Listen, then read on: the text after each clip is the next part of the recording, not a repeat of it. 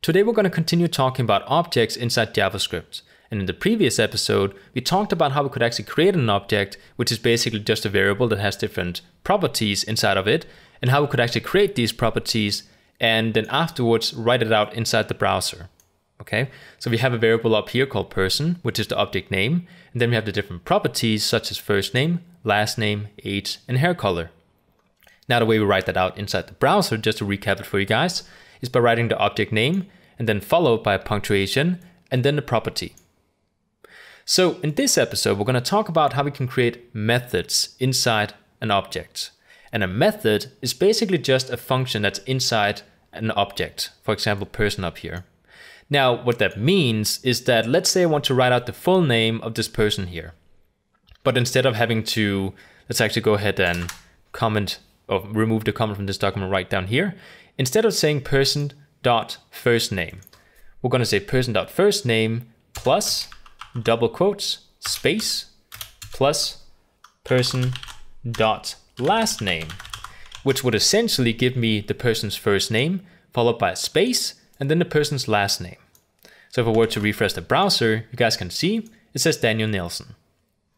But this is too much code to write. What if we could make this more simple by creating a method inside variable person, which means that we only have to create this method once, and then we can just simply, you know, write out the method that we have inside the object.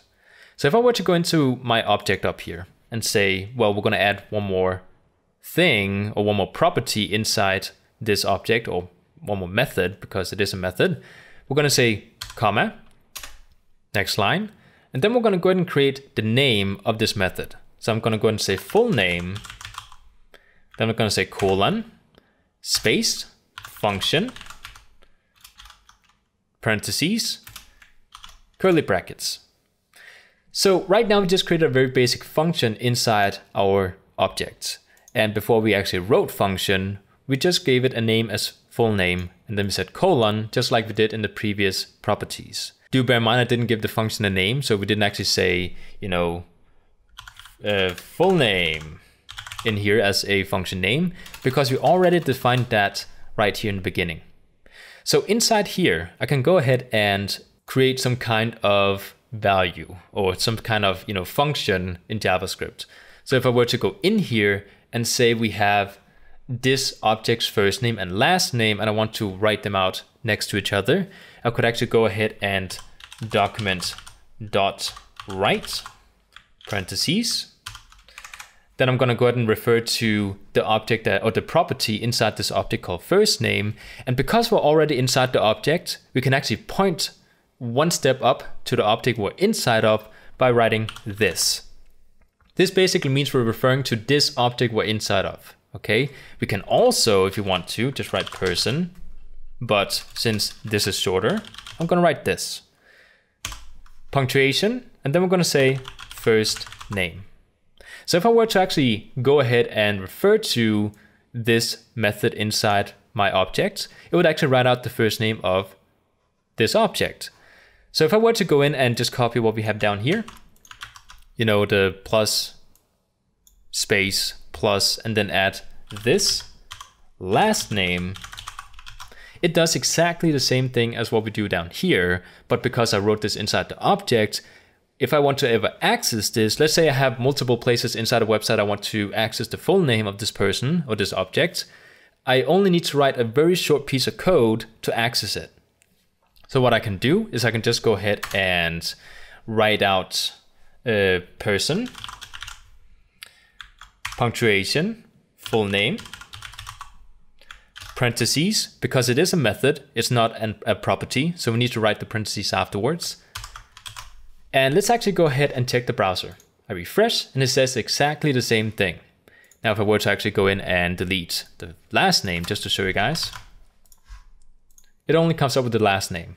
So this is a pretty cool way of doing this. So we only have to write the code once inside our website. And this is one of the really cool things about objects because we write all these different information and, you know, values, but we only need to write a small piece of code once to refer to the values that we have in one place. So we don't have to write the same values multiple places inside the website. So let's say I want to change the name of Daniel to Stephen then I just need to change it one place. And because I'm referring to this object inside my website, it automatically changes the object everywhere inside the website, which is kind of cool. Now, just one more thing, because I know some coders have a habit of, you know, doing it this way that I'm doing it right here, where I'm actually document writing inside my function. Uh, I just want to point out that this does work. You know, actually document writing inside a function to get this written out inside the browser like this. Um, but the preferred way of a lot of coders is actually by returning the value instead. Now we haven't actually talked about returning, so I'm gonna go ahead and just delete some of this we have here. So now I just basically remove the document write and the parentheses that went around everything. So instead I'm gonna go ahead and write return space, and then it returns all this information here. Do bear in mind I still have the semicolon at the end here. Now, if I were to save this because I'm returning the value, it's just gonna return it, but it's not gonna, you know, output it inside the browser. So even though I refer to this method in here. If I go refresh, you guys can see there's nothing. So this is actually where we'll go down and say documents dot write parentheses semicolon and take this reference to our uh, method and put it inside our document write like so.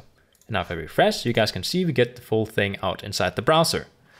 So this is how we can create functions or methods, like they're called technically, inside an object. And of course, this is a very basic example. We could also write something first if we wanted to. We could actually create a string that says the person's name is, then we want to make sure we actually have a plus, the name of this person. So if I go ahead and refresh, you guys can see it says the person's name is Daniel Nielsen. Okay. Again, very simple example. You can do very complicated things with these sort of information. Right now, we're just using a person as an example for the object, but you can do very complicated calculations with this. Let's say a shopping cart inside a website where you have different, you know, mathematical equations that need to run in order to calculate the total amount for the cart. Then you could use something like an object to, to figure this out. So like I said, in the future, we'll be doing a lot of different objects uh, because we will be using it for more advanced stuff in JavaScript. So I hope you guys enjoyed. I hope this wasn't too confusing or too overwhelming because, like I said, it is something we will be using. So I hope you guys enjoyed, and I'll see you guys next time.